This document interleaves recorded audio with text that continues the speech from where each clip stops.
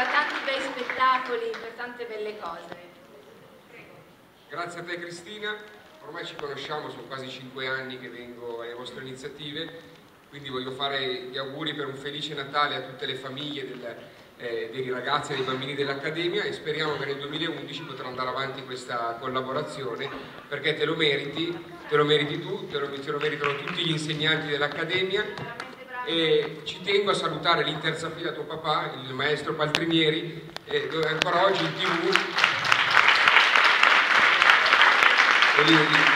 ancora oggi in tv c'erano tutte la pubblicità delle fiabe, delle fiabe sonore eh, e allora l'ho pensato. Buon, buone feste a tutti. Allora, io volevo dire una cosa Pietro, vediamo. La prossima volta, se è possibile, avere gli archetti per i bambini, per i ragazzi anche che cantano e che almeno si sentano e le luci che si accendono e si spengono. Grazie. Ho comprato il karaoke, quindi la prossima volta adesso mi sto esercitando. Il mio vicino non è felice, però... Va bene, ci sarai anche tu. Perfetto.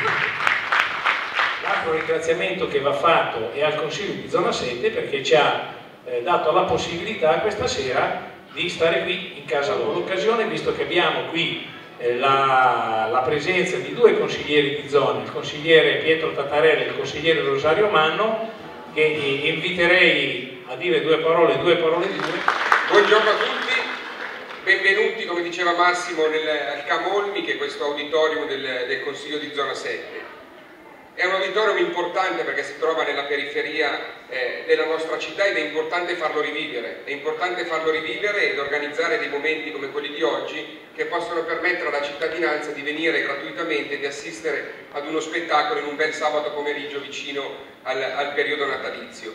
Quindi voglio ringraziare Massimo e tutta l'associazione eh, culturale cesanese, voglio ringraziare tutte le persone che hanno organizzato questa, questa giornata di oggi e fare a voi i migliori auguri per un buon Natale e per un 2011 che speriamo sia un 2011 eh, di rinascita, visto che il 2010 è stato un anno un po' dovuto anche alla crisi economica, un anno difficile, speriamo che l'anno prossimo ognuno di noi possa realizzare i sogni che ha nel cassetto. Grazie a tutti e buono spettacolo.